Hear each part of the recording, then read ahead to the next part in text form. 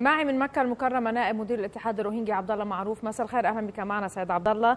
من يحدد الوقت المناسب لاستقبال وفد مجلس الأمن؟ نعم. حقيقة هذه الممارسات من حكومة ميانمار في تأجيل كثير الكثير من الزيارات للوفود الأممية. هذه عادة عرف عرف بها منذ 2012 وقبل ذلك. قبل أيام نحن فوجئنا على موعد تحديد آه الذي وضع بين الدولتين ميانمار وبنغلاديش على إعادة اللاجئين في 23 يناير. وإذا بميانمار تصرح أنها غير مستعدة لإعادة اللاجئين في هذا التوقيت. واليوم نسمع برفضها عن استقبال وفد مجلس الأمن بمبادرة من دولة الكويت وخاصة السفير العتيبي حين حرص كل الحرص في هذا الشهر في شهر يناير أو في شهر فبراير أن تكون هناك يعني يكون هناك وفد رفيع المستوى من مجلس الأمن يزورون منطقة أراكان ولكنهم يرفضون مثل هذا الشيء. وقبل ذلك رفضوا اللجنة المكونة الدولية لتقصي الحقائق بالأمم المتحدة. هل يحق لميانمار أن ترفض؟ بعد ما نتحدث عن ممارسات توصف بأن إبادة جماعية؟ نعم. هي فقط تريد أن تكسب الوقت لتنظف المنطقة من آثار الجريمة التي هي يدها ملطخ بها. هناك مقابر جماعية هي تخشى أن تكتشف هذه الوفود. هذه المقابر الجماعية وعدم الإعلام تنقل مثل هذه الأحداث. هي تخشى الآن من قرى بأكملها قد حرقت ومحيت ورصدت بالأقطار الصناعية كما رصدت الجمعية العامة للأمم المتحدة وصرح بها أيضا الأمير زيد بن رعد لما ذكر أن مجلس حقوق الإنسان رصدوا بالأقطار الصناعية تحركات الجيش وهم يحرقون القرى بأكملها. هي فقط تريد أن تكسب الوقت لتغطي على الأدلة والادانات التي تدينها بالإبادة هل سيكون بإمكانها أن تغطي بهذه الطريقة سيد عبد الله ام إنه طبعا كل لن تستطيع لأنه شهود العيان الموجودين الآن في بنغلاديش كل واحد وكل أسرة وراءها قصة بريئه بالأحزان والمأساة. وكل والأعداد والحالات يعني ليس بالضرورة أن نجد المقابر لنعرف أعداد القتلى صحيح؟ نعم. نعم نحن الآن حقيقة يعني أنا أتحدث معي الآن مجموعة من الإخوة النشطاء من الروهينجا الذين ذهبوا وعاينوا الواقع في مخيمات اللاجئين وسجلوا الشهادات وكثير من الانتهاكات حتى بعض المنظمات الحقوقية ذكرت إن 80% من الأخوات المهجرات اللي تعرضن للاغتصاب وأيضا هناك أكثر من 55% كلهم أطفال ممن هجروا فقدوا والديهم.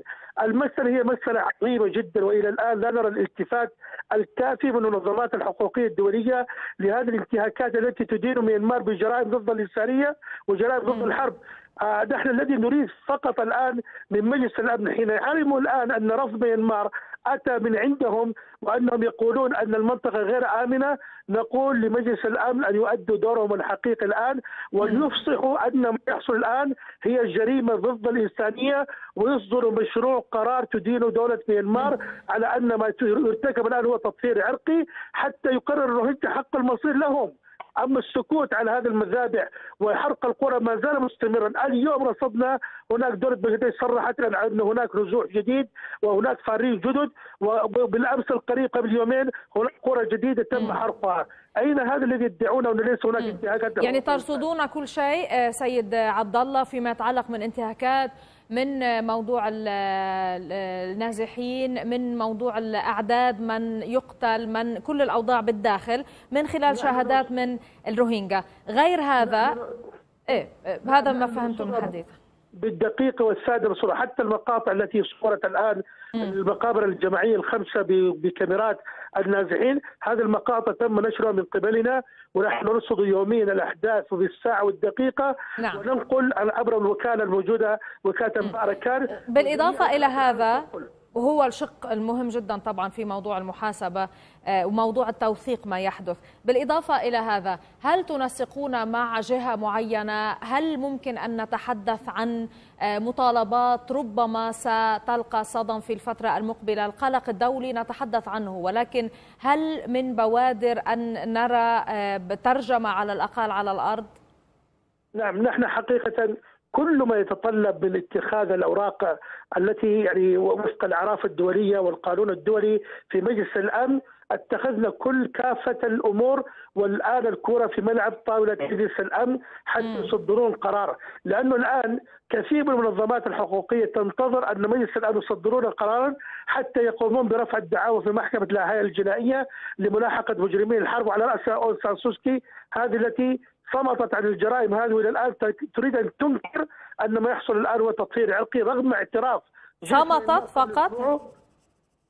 نعم. صمتت فقط؟ ما هي هي صمتت بل تنكر تقول ما يحصل في هي عبارة عن دراما تمثيل يمثلونه روهينجيا صحيح وهم يعتبرون بأنه هذه ردة فعل على آه، عدد قليل من المسلحين. الثائرين. أنا آه، أشكرك أعني هم بالجريمة يعني لا آه، لهذا علقت على كلمة صمت. شكرا لك. دائما معكم للوقوف على آخر تطورات هذا الملف من مكة المكرمة. نائب مدير الاتحاد الروهينجي سيد عبد الله معروف.